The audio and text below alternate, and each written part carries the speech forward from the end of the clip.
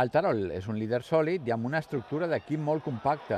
Un dels seus punts més claus és l'aspecte defensiu, ja que és l'equip que menys gols encaixa de la categoria amb només 13, una mitjana pràcticament de mig gol per partit.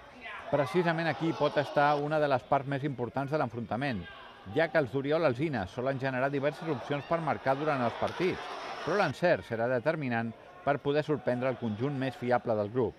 El Badalona, per la seva banda, viatja demà amb la il·lusió de ser el primer equip que aquesta campanya guanyi al municipal de Pinilla, precisament el camp on el club de futbol Badalona va descendir el curs passat.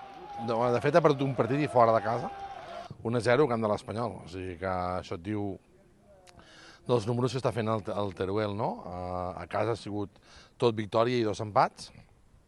Però bé, nosaltres Eh, en el partit ja de la primera volta crec que els hi van posar moltes dificultats, apenes van tenir oportunitats de gol, i esperem allà competir de tu a tu amb ells. O sigui, ara mateix anem amb la mentalitat, amb tot el respecte perquè és el líder i és un rival eh, complicadíssim de batre, ningú l'ha batut a casa seva, però anem amb mentalitat d'emportar els tres punts.